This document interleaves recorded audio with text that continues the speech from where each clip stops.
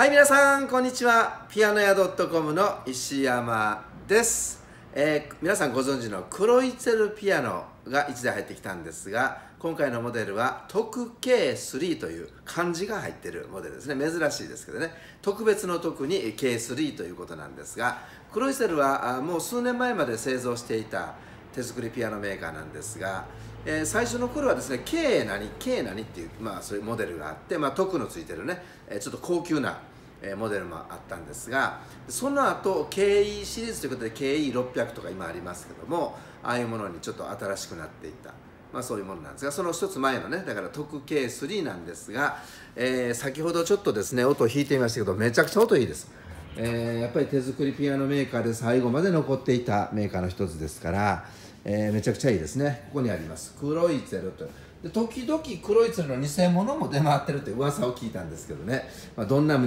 物か知りませんが、えー型番がねちょっと、まあ、あの違う型番なんですが。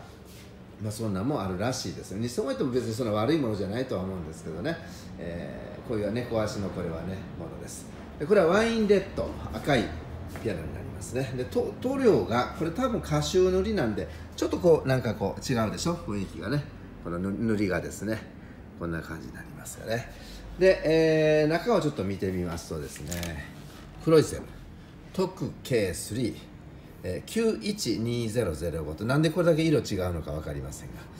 はい、そして、えーなんかこんな状態で綺麗なんですが。昭和55年これちょっと見ました。昭和55年が最初の調律のようなので40年ぐらい経ってるピアノになりますね。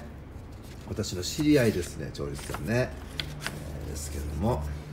でこのピアノちょっと難がありましてですねその難は何かというとちょっと傷がこういうところの傷が多いということですね、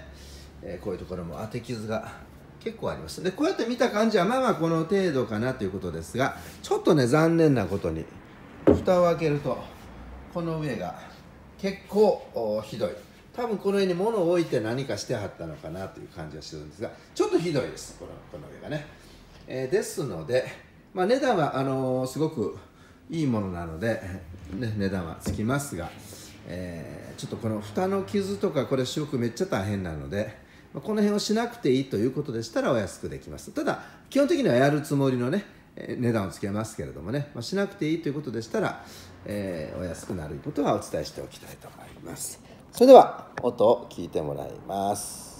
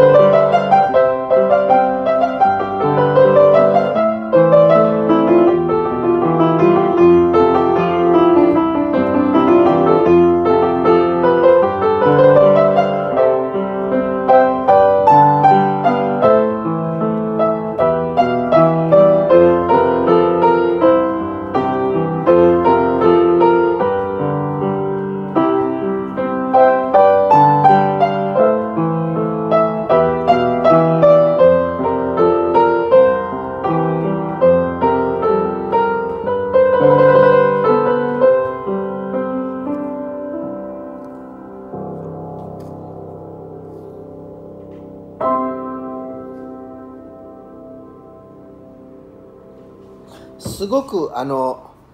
昔の音というかね昔のピアノの良さ古き良き時代のピアノの音の良さが感じられるとあれもしかして黒炭かもしれませんねこれね。この鍵盤が、えー黒炭鍵盤だと思います。こんな感じね。模様がありますよね。はい、えーもう黒炭にするだけで結構ええ値段しますから最初から搭載されてるっていうのは、えーラッキーかもしれません。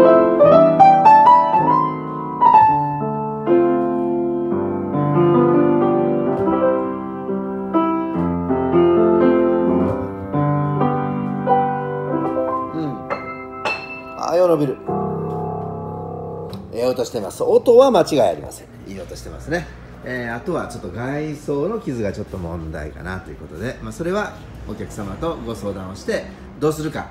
え決めていきたいと思います。クロイツェルの特 K3 のご紹介でした。それではさよなら。